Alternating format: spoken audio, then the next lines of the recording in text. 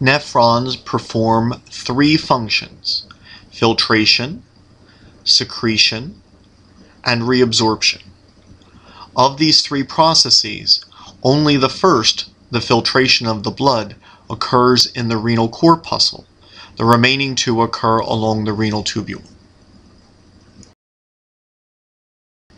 The second two processes which occur at the nephron, secretion and reabsorption, occur along the renal tubule. The renal tubule has separate sections, and different types of secretion and reabsorption occur in different sections. So, for example, the PCT is where all glucose, amino acids, small proteins are reabsorbed, in addition to about half of the water and ions. The descending loop of Henle is where water is reabsorbed. The ascending loop of Henle is where salt is reabsorbed. And these three sections undergo what's known as obligatory reabsorption. Uh, this type of reabsorption occurs all the time and cannot be regulated. In contrast, the DCT and in the neighboring collecting duct, hormones can influence the reabsorption and secretion which occurs here.